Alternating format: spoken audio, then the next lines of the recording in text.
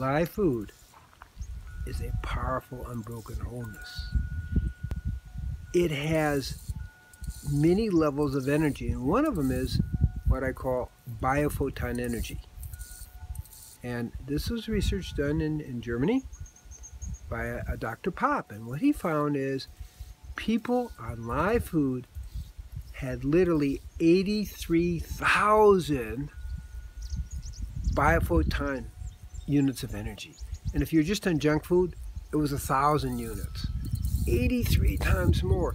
If you combine it with some herbs and different things, it's 117 times more powerful.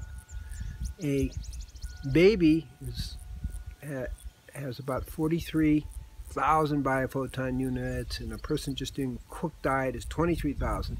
So we're looking at one of the main key features of live food is it increases the biophoton energy big time, okay? And not only that, what we notice is that people on live food definitely have an increase in their spiritual uh, focus. And the research done by some of my, my master's students showed it was an 87% increase. Wow. But why? So the cosmos is made of biophoton energy. And when we take this energy in, we resonate with the cosmos and tune, tune in more psychically and more spiritually to the cosmic flow.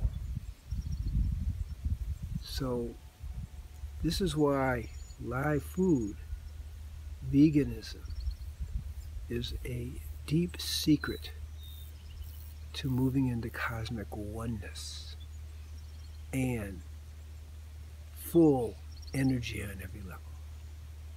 Blessings to you. Shalom, shalom, shalom. Shanti, shanti, shanti. Om,